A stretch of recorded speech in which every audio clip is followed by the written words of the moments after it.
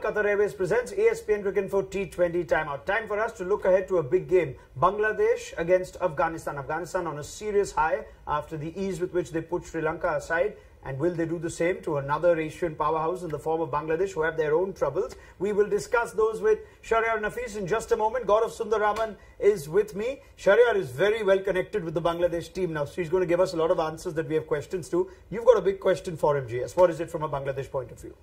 Yeah, Bangladesh have had a pretty tough time in the T20 uh, uh, format of late. A lot of chopping and changing. I think their three main stalwarts, Shakib Al Hasan, Mushfiqur, mm. and Mahmudullah, are still there. They kind of form a very strong middle order. But what's at the top and what's below them is something which is uh, which even I don't think they have a settled unit at the top, mm. which is very very important in T20s. And over the last uh, since the last T20 World Cup, their strike rate, the batting strike rate of Bangladesh is the lowest among all the 10 teams, which is about 110. So that's not a very good sign considering India, which is at the, the best team, which teams want a benchmark to, they strike at 144. So that's the kind of gap that Bangladesh have to bridge. So it's going to be tough on their uh, on their batters. I think that's their biggest challenge. All right, then let's ask Shahriar Nafees who fills the rest of those batting spots. From what GS says, Shahriar, that there are only three players, and we know those three players so well now that we can say with certainty are going to make that 11. What does the Bangladesh batting lineup look like for you? A recent has given an opportunity to Anamul Haque Bijoy, who has been uh, uh, scoring prolifically in domestic circuit. Uh, when uh, Tamim Iqbal uh, announced his retirement from the T20s, uh, it's a very, very, very big shoe to fill in. but you know, a T20 is such a game where player comes and performs and gets settled down. So Anamul Haque Bijoy is there, uh, Mohammad Naim Sheikh is there. So uh, and we have got some of new kids like Afif has been in uh, in this squad for such a long time, and he has been batting number three, number four. Um, uh, so uh, yes, Sakib, Mushfiq, and Mahmudullah gives the team a solid middle order.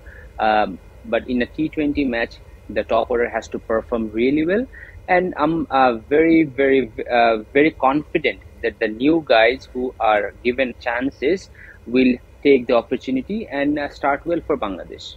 Hmm. All right. Now, the numbers that Gaurav brings up, Shahriar, about the overall strike rate, the top order strike rate being lower than any other hmm. team, is that really such a concern in these conditions? We saw what Fazal Farooqi did to Sri Lanka's top order in the opening game. Would you be looking at those numbers and be worried and say Bangladesh need to play the power game that a lot of other teams play? Or would you be saying, no, that's all right because this is a very different uh, equation now and the conditions are such that if they can play the 150, 160 game, they're in control? Ronak, uh, it totally depends on a day. Uh, the condition you are playing, uh, the opponent you are playing, yes, if a, opponent is scoring 200 against you, then you have to chase it down. Uh, you have to keep one thing in mind that Bangladesh plays their 50% T20s at home, which every team does. And you have to adapt with the home condition.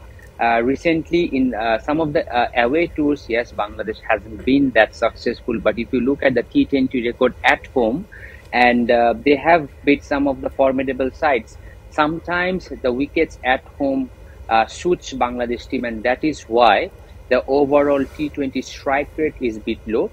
Uh, but having said that, I believe uh, in a tournament like this, where the all the powerhouses are playing, and even you talk about a World Cup, uh, you have to adapt to the condition. If the condition is allowing you to score in a 200 strike rate, you have to do that. And if the condition is allowing you to score in a strike rate of 110, you have to adapt with the situation.